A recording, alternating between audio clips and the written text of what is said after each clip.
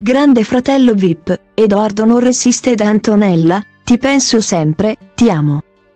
Continua il tira e molla tra Antonella ed Edoardo al grande fratello VIP. A poche ore di distanza dalla rottura ufficializzata in diretta su Canale 5.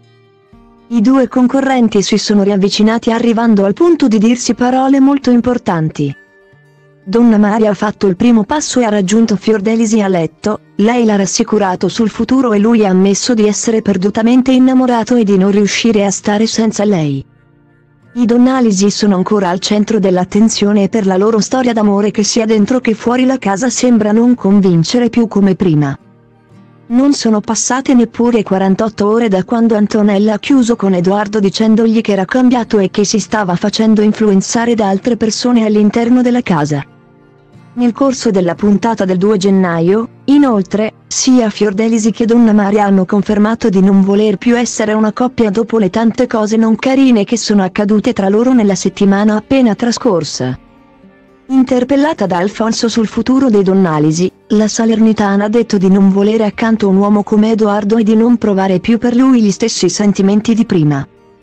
Il romano, dal canto suo, ha lasciato una porta aperta sostenendo che potrebbe tornare con l'influencer solo se lei ammettesse di aver commesso degli errori e chiedesse scusa per almeno uno di questi.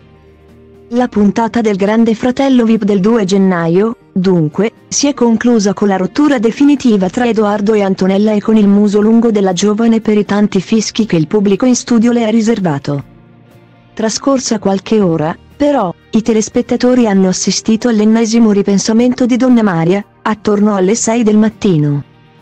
Il romano ha raggiunto Fiordelisi a letto e le ha sussurrato all'orecchio parole d'amore.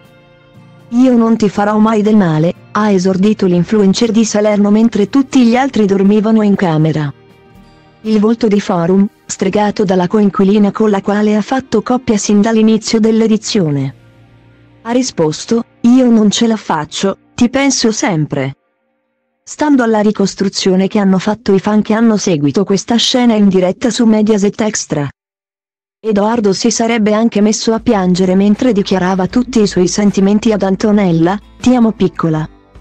Ancora non è chiaro se Edoardo ha deciso di tornare in coppia con Fiordelisi, quel che è certo è che non riesce a resistere alla forte attrazione fisica che ha per la coinquilina. I fan del grande fratello VIP sono un po' spiazzati da questo infinito tira e molla. Soprattutto perché nessuno dei protagonisti di questa storia sembra riuscire a mantenere il punto per più di qualche giorno.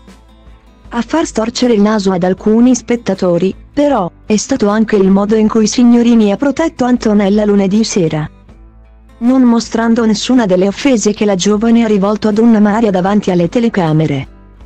Il romano, invece, è stato messo davanti alle immagini che provavano le cose poco galanti che ha detto sulla fidanzata la notte di Capodanno. Quando ha criticato il suo modo di ballare e i suoi avvicinamenti ad altri concorrenti uomini del cast. Secondo tanti, dunque, Alfonso avrebbe affrontato l'argomento usando due pesi e due misure. Tutelando in qualche modo una delle protagoniste indiscusse della settima edizione delle reality di Canale 5.